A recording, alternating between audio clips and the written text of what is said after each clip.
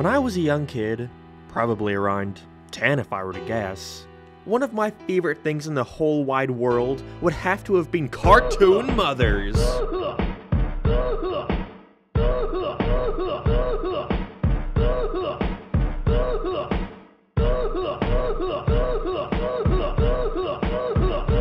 Cartoon moms are a dime a dozen, especially in adult animation where most general setups are simply your average nuclear family. So there's a plethora to choose from. Your Marge Simpsons, to your Francine Smiths, to your Cleveland Show mom, I forgot the name. Now, the internet loves animated mums. I mean, I see tier lists for them all the time. People must really care about their personalities. And one that stood proudly near the top of my list for years was none other than Lois Griffin of Family Guy. Sure, Marge was nice and sweet, but Lois had an edge to her. She didn't take shit from no one. They were more willing to push her to certain extremes and let the comedy derive from how wild she can be, when not being restricted into filling that motherly archetype.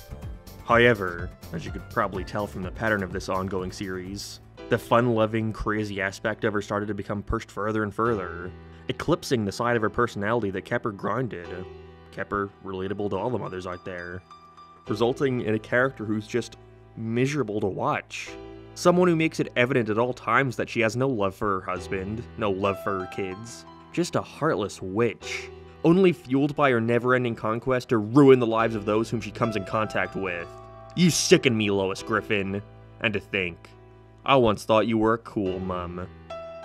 Yeah, I said mum. And so with that, I think it's best I take you on a ride through the many facets of Lois's personality. You know the song and dance at this point, we're gonna go over how she started in the series, how the writer started to hone in on the more extreme aspects of her character once they started running out of ideas, and how she's now become a shell of her former self. This is Lois Griffin, a mother without... an icon with... Lo Lois Griffin. A bitch, I can't title it that. So, Lois. Lois, Lois, Lois.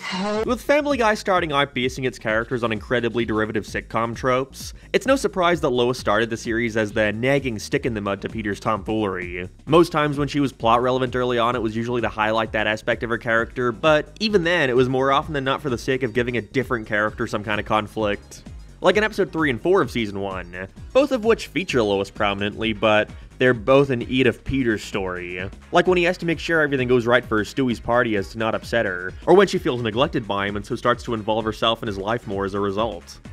Puh. Women, am I right? Even in season 2, Lois had memorable moments for sure, but she was simply part of that family collective. If she was doing something in an episode, it 9 times out of 10 related to her kids or Peter, or the dog, I guess. That's why if you look at a lot of top 10 lowest episode rankings, I don't know why you'd be looking for that, it's your life, I don't judge. But they never list anything before season 3, and it's because Lois wasn't all that interesting. She was basically just a clone of Marge.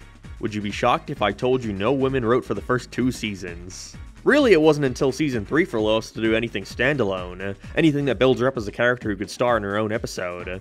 Hell, I'd argue Meg was a better character early on and she's Meg. Meg. Lethal Weapons was her first standout episode, which I think contributes a lot to the direction her character started being pushed towards. Here we see her join a taijutsu class and become increasingly more violent, which slowly starts a rift between the family. Guy. Everyone begins getting pissed off, arguing, yelling at each other, and then... You... you just hit me. That's right. This was a pretty big moment in the series at this point in its run. With current Family Guy, this would be the teamest crap in the world, but it's the first time they really leaned into that dysfunctional aspect of their family and having them take out their aggression on each other. I could see someone consider this a jump the shark moment, like having Peter literally fucking hit his wife in the face. But I think if anything, it allowed the show to surprise people, having it stand out from its contemporaries. I mean, let's just say you're never gonna get a Simpsons episode where Homer decks Marge in the jaw. I think we can all agree, though, should be used sparingly. This moment, while extreme, at least ends with them all laughing together, having gotten that aggression out of them. But this isn't something they can get away with doing regularly. I really think that would just go too far in the opposite direction of a generic family sitcom, and would result in a show that just feels like everybody hates each other. Oh wait, season 4 is where Lois really began coming into her own, really starting to set herself apart from the character she's most often compared to. They do a few plots here that actually cross over with stories they've done with Marge on The Simpsons, which is great as it only further elevates how different of a character she's become. For example, The Simpsons did an episode where Marge gets caught shoplifting, but it's in a very Marge kind of way. Everyone is sick and she's incredibly tired taking care of them all, and so accidentally doesn't pay for something, resulting in her getting thrown in prison and the family realizing how much they need her. Sitcom plot. With Family Guy, they also have an episode where Lois starts shoplifting and gets sent to jail. But it's not by accident, she gets a thrill out of it, resulting in the family needing to break right and being on the run from the cops. This was right after the revival, so the writing style had begun leaning more into these wacky setups where anything goes, and I actually think it benefited Lois the best out of all the Griffins. This is what I like to call Lois's midlife crisis era. A midlife crisis that has lasted, uh, how long? How many seasons are we on now? About 18 years. We had the episode where she becomes a model, she becomes a news anchor, a boxer. She actually goes through a midlife crisis at one point and tries to screw Justin Bieber. Yeah, I guess when that episode came out. The line for how extreme they could push her had been pushed more and more. And while I do like a lot of these episodes, again, this side of Lois had arguably made her more interesting than ever. But like a lot of characters in Family Guy, the writers had to continue pushing this more and more, finding new ways to surprise the audience and it resulted in their fascination of strange boomer lol I hate my wife slash husband jokes. And once you take that cat out of the bag, you can't put it back in. You've already established that Lois is a more reckless person, desperate for thrill in her life. So you can't go back to making her more similar to her season 1 to 3 counterparts. Nor do I think they want to. The mindset is that Family Guy is a comedy set out on making you laugh first, and so the family aspect has to be put to the west side in favor of this is what our character is doing this week, and this is how our ensemble is going to react to it. It's kind of an issue, though, when your show is called Family Guy. Whoops. It's resulted in plenty of amazing episodes, no doubt, but it also puts the writers more in a corner. How do you top yourself when you've already established Lois to seek more in life? Well, what if we just meet her? He her life. That's like it's like funny and stuff, I guess. Other families fight too, right? Not this much. Do you think maybe we should think about getting it? It is what it is. Let's just get Stewie to college and go from there. Even as a kid, I really hated how miserable the Griffin family became. Just always at each other's throats all the time, and there's no place that shines through more than with Peter and Lois's marriage.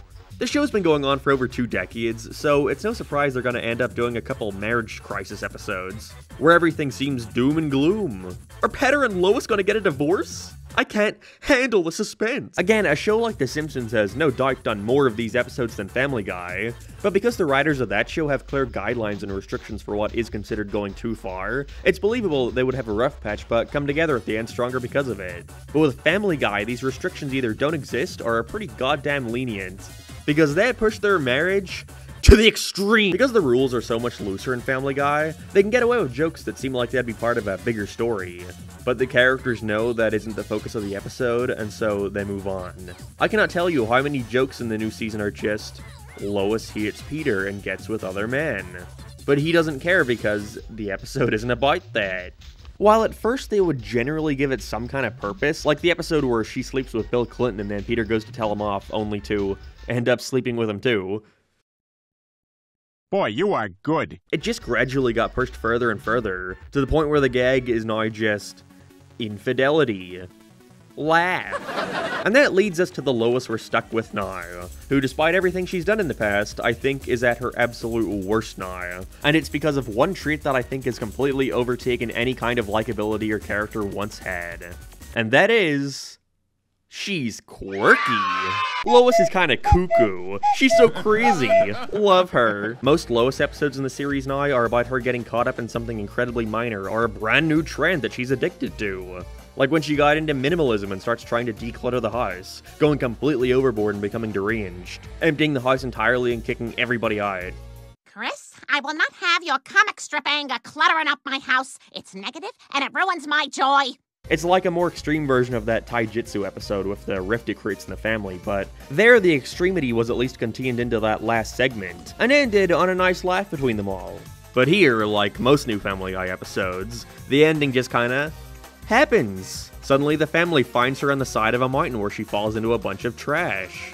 So now she likes being messy again.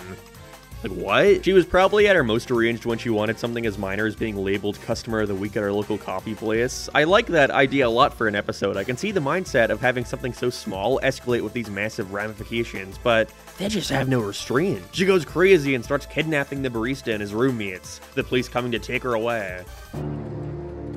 Lois? I'm just finishing the dishes. I'm a good person, Joe. Lois only saying okay when the police pulled up into the house sent chills up my arms. What do you do in that situation but accept your fate? It's all you can do. That right there is the peak of the season. I don't know, maybe it's just the visuals. She's got such a dead-eyed stare now, like she's constantly disinterested in everything going on in her life. It Would fit her character now for sure, but like, I don't want to follow that for a whole episode. That's depressing. Lois's midlife crisis has turned into, well, the rest of her life crisis. The writers have honed in on this new bitchy, hates her life and hates her family side her, and that seems to be where they want to keep her at. I can only assume because it gives them the most storytelling potential. Which is a shame. Like, sure, Lois was never a favorite character of mine, but like Brian at one point in time, she kept things grinded. She was the voice of reason to her family's stupidity. She was loving and caring, and so when she did reach that breaking point, you knew things were serious. And that was always fun to watch. But I guess it just became easier to make her more like every other Griffin wide, annoying, only out for themselves. So fuck off, Lois Griffin. You suck. That's my conclusion.